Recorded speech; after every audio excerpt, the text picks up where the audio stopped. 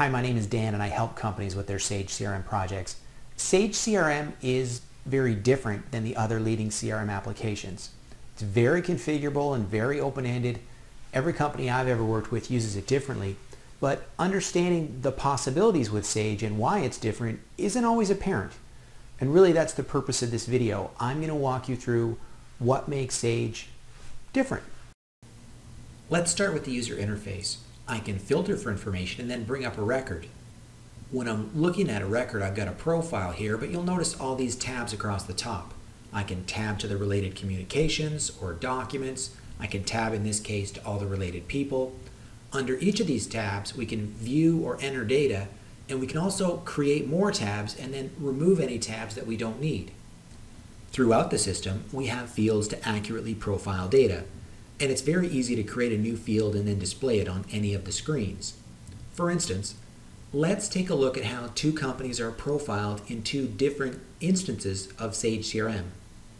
In my system, these are the different fields that we use to profile companies. When does their support agreement expire? What version of Sage do they have? How did I come to meet them? That type of thing. But now I've just jumped over to this other instance of Sage and you'll notice it's completely different. Do they do this with us? Do they do that with us? How would we rank this particular company? But it's not just profiling companies and opportunities. Within Sage, you can add sections to hold data. So beyond companies and opportunities or customer service issues, you might also want to track shows or equipment or employees, whatever happens to be important to your organization.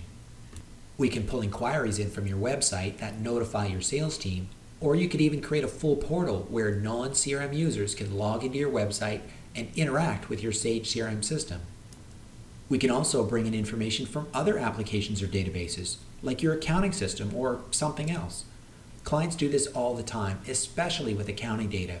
Sage CRM is a great application for processing orders and then having those CRM orders flow right into the accounting system.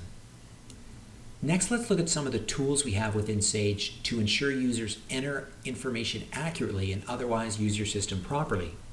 This could be as simple as making some fields required, or maybe that they be required, but only in certain situations. You can set up escalation rules to monitor your system and then notify people when these defined conditions have been met. And here's an example on this screen. My favorite feature is called Workflow. Workflow controls how information progresses through a department. Workflows can be basic or they can be very sophisticated and they're always tailored around the unique needs of a company.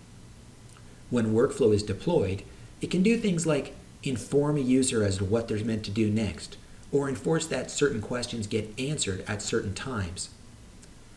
A workflow can also automatically notify people, maybe when their input is required, and it can ensure a particular document gets uploaded, like a quotation or a spec, or whatever documents you feel should be uploaded.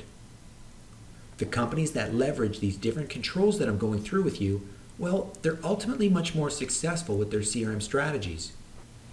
So with Sage, you saw that we can profile absolutely anything, and we can record communications and documents against whatever it is that we want to profile. We can readily integrate with our website, our accounting system, or anything else but more importantly, we can define how information moves through our system.